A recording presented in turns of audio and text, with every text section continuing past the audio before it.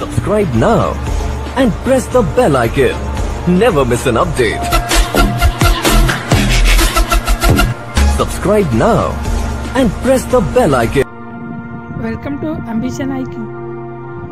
समकालीन भारत शांतता स्थैर्य आणि राष्ट्रीय एकात्मते समोरील आव्हाने हा पाठ आपण बघत आहोत त्यामध्ये छोटे छोटे पॉईंट्स कव्हर करत चाललेलो आहोत जवाहरलाल नेहरू यांच्या डिस्कवरी ऑफ इंडिया या पुस्तकातील भारताचा शोध या तिसऱ्या प्रकरणातील भारतमाता हा भाग वाचा व त्यावर चर्चा करा. हा खूप सुंदर असं त्याने पुस्तक लिहिलेलं आहे डिस्कवरी ऑफ इंडिया इंडियाचा कसा शोध लागत गेला?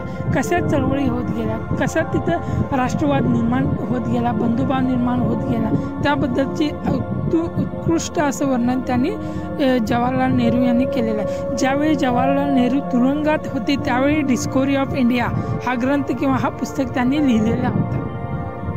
नेक्स्ट बघा माहिती आहे का तुम्हाला? संस्कृतीच्या प्रारंभ प्रारंभापासून भारतीय लोकांच्या मनात एकतीची एक स्वप्न होते.